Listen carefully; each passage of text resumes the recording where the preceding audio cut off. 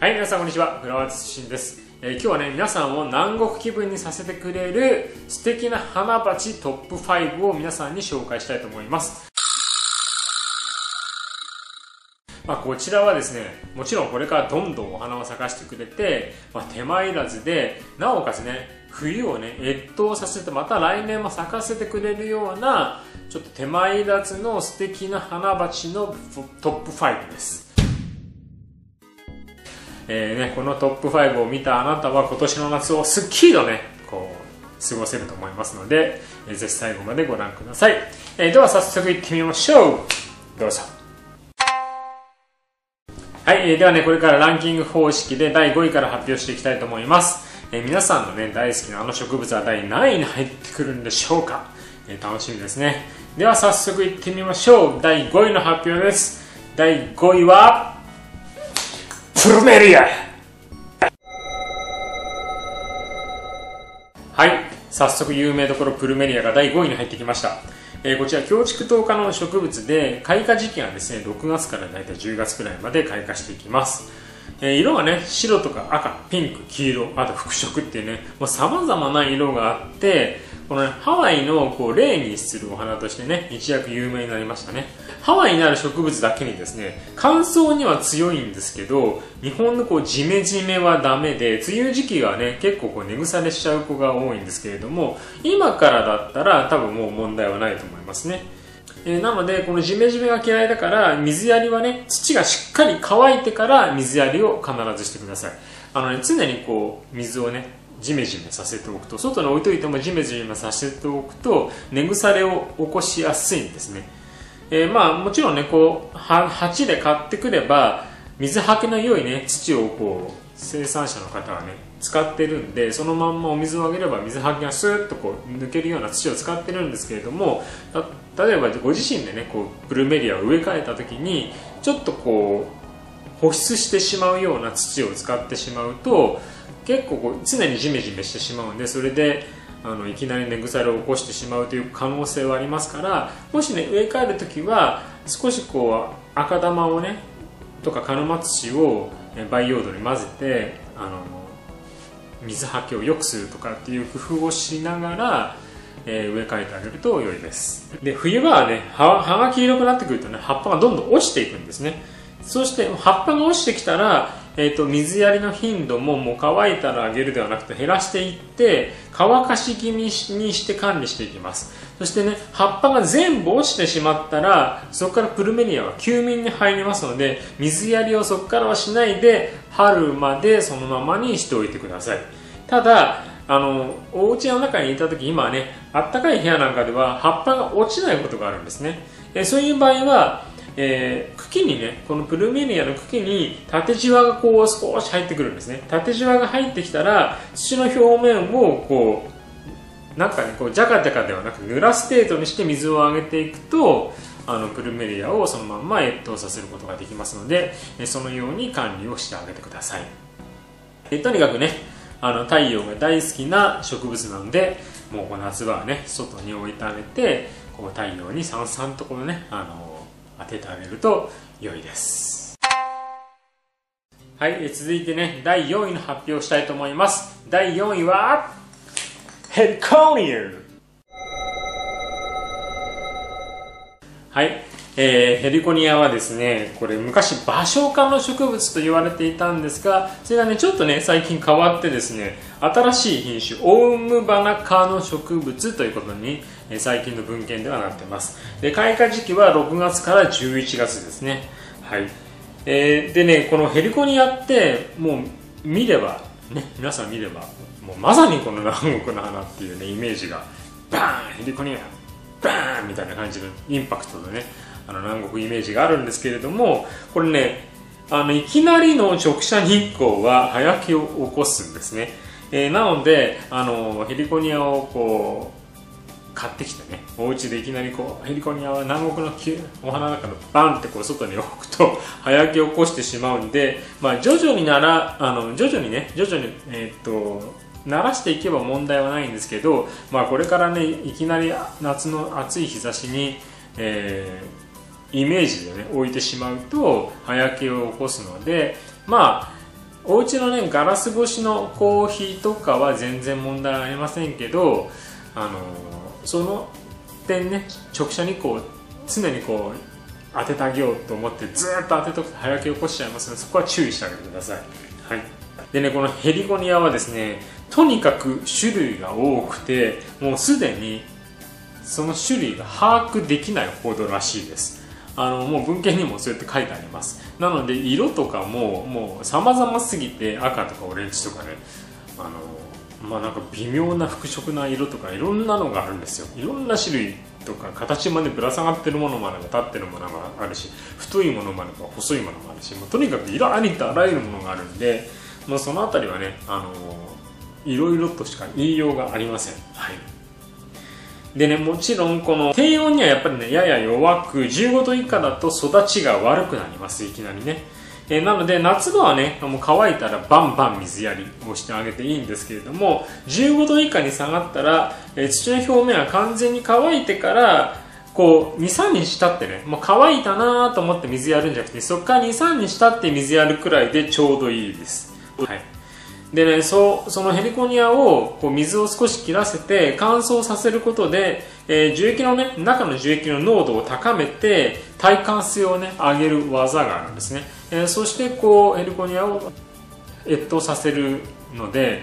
あんまりこうお水をあげてるとその樹液の濃度が高くならなくなってしまうので、あのそこのところは冬場になったらあの気をつけてあげてください、えー、夏はねもう全然大丈夫です。全然こう乾いたら水バンバンあげて大丈夫ですけど冬場の越冬の時はそのようにしてあげてくださいね。はい。まあ、とにかくまあ丈夫な植物なんで皆さんをね楽しませてくれる南国の気分にさせてくれると思います、はい。えー、ぜひ飾ってみてください。はい、えー、続いて第3位はストレッチャーストレッチャーはい、えー、3位あたりからちょっと激しくなってきましたけど、えー、第3位はストレチア、えー、こちら極楽鳥科科というね科目の植物です、えー、ストレッチャーイコール極楽鳥科っていうのは皆さんよく知ってると思いますけどまさにその極楽鳥科科の植物なんですね。はい。でこちら開花時期が5月から10月です。でね、基本はもうストレッチャーは外です。もう外で育ててください。あのね、室内だとね、まず花咲かないんですよね。あの、やっぱり日光不足で葉っぱが細くなってしまって花咲かないです。外に置いてさんさんと日を浴びせてあげると結構ね、もう気づくとこうボンボンとこう花がね上がってきますので、まあ、そのように、ね育ててあげるとあの良いと思いますもうベランダの外でこうバンバン咲かせるような感じですね。でまあちょっと花がついてきたら室内のこう日当たりがいい場所とかに置いてまた花が終わったら外に置いてあげるみたいな感じでもいいんですけどあのお家の中でねちょっと南国気分を味わいたい場合は、まあ、基本は屋外で大丈夫です、はい、で水やりはね夏は表面が乾いたらもちろんたくさんあげてください。もうこれはね外は全然あげて大丈夫なんでたくさんあげてくださいね。ただこちらも水はけの悪い土はやっぱり NG なんで、まもう買ってきたまんまの土だったら全然大丈夫です。あのちゃんとそういう土で生産者の方は植えてあるんでただ植え替えをした時にですねあの水はけの悪い土で植え替えると根腐れを起こして死んでしまうことがあるのでそれはちょっとあの避けてください。冬場はねあの1週間で23回あげてくれればもう十分なんで、まあ、そのような水やりのね方法をあのややる量をねあの夏と冬とで変えてあげるっていうのがあの、まあ、みんな植物そうなんですけどここでもストレッチャーも同じようにそういうふうにしてあげてください。はい、はいえー、続きまして第2位の発表に参りたいと思います。第2位はアンスリウムアンスリウムアンスリウム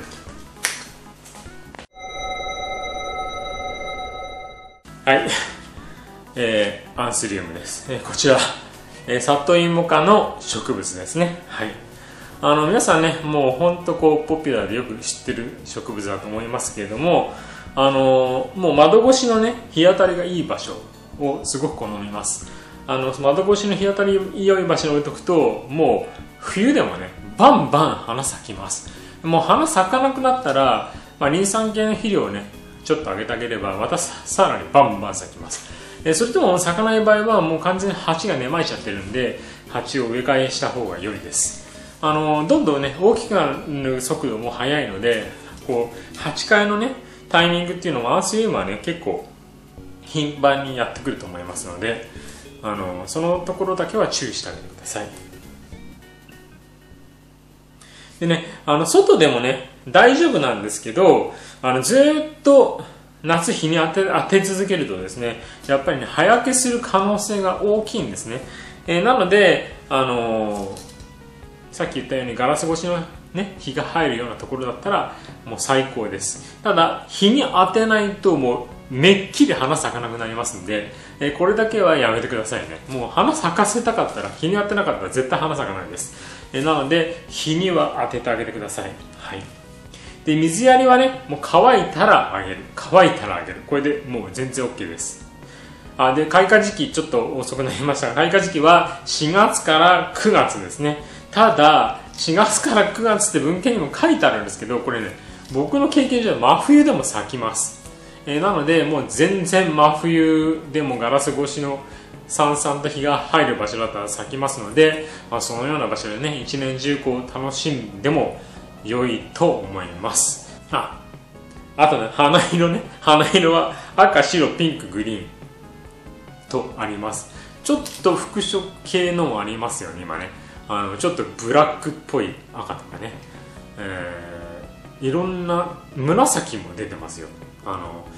アンスリウムも結構多種どんどん僕種類が増えてると思います。毎年見てると種類増えていくんで。はい。えなのでこれからもねどんな色が出てくるか楽しみの植物の一つですね。はい、はい、続きまして第1位の発表いきたいと思います。第1位ははい。ビスカス。はい。ビスカス。はい。ビスカス。はいビスカス。OK はい。ハイビスカスです、えー、青イ科の植物ですね。はい。えー、もうね1位。まさに僕も1位にふさわしい南国の花の代表格だと思いますね。ハイビスカス。あのもう一日花なんでその花はねアースリウムみたいにこう切り花でね楽しむとかそういうことはねできないんですけど、まあ、とにかくねこうどんどん花が咲いて大きい花が咲いていくのでなんかその咲いてしぼんすぐねしぼんでしまうんですけど、まあ、次はバンバン咲いていくその姿がねあのとってもこう楽しいです。ハイビスカス。はい。えー、水やりはねもう土が乾いたらあげるようにしてあげてください。もう外に置くんだったら朝と夕方2回ぐらいあげて良いと思います。えー、ただね昼間はやめてくださいね。昼間夏場あげると水が沸騰しちゃってこう根っこがね焼けてしまうのでそうするとねあの根腐れして枯れてしまうことになりますから、えー、とにかく朝と夕方こう涼しいうちにねあの水やりはしてあげてください。でねあのハイビスカスね越冬も実はするんです。えー、だけど 12, 度以下が基本的にはダメなんですね、えー、ただあの徐々に慣らしていくとそのまんまもう雪が降っても越冬しちゃうハイビスカス僕ね知ってるんですよね。だから結構ねその元のになる鉢のね木の強さにもよると思うんですけれども基本的には12度以下はダメなんですね。ただ越冬しちゃうのは越冬して真冬でも花咲かせてます。はい。なのでちょっとねあのー、なんだろうな一概にこうというふうなことが言えない植物だと思います。一応開花時期も5月から11月なんですけどこれもね12月とか1月とか2月に咲いてるハイビスカスもねそれも外でですよ。あの実際見ます。あのただねバンバンではないです。ちらほら咲くんですけどね。はい。えー、なので何でしょうね。もう春先からこう常に慣らしていけば、えー、全然問題はないですし夏今夏で夏からね秋になって冬になっていくような感じで外に出しておけばそのまま越冬する子もねやっぱりいるんですけどただやっぱりこう冬ね体感性がなくて枯れちゃう子もいるんで、まあ、必ずこうとは言えませんからね外での越冬っていうのは。やっぱ室内にちょっと入れてあげるっていうのはね、あの良いと思います。冬場はね。はい。であのお花の色はですね赤白ピンク黄色オレンジ。このくらいですかね。ハイビスカスはね。はい。結構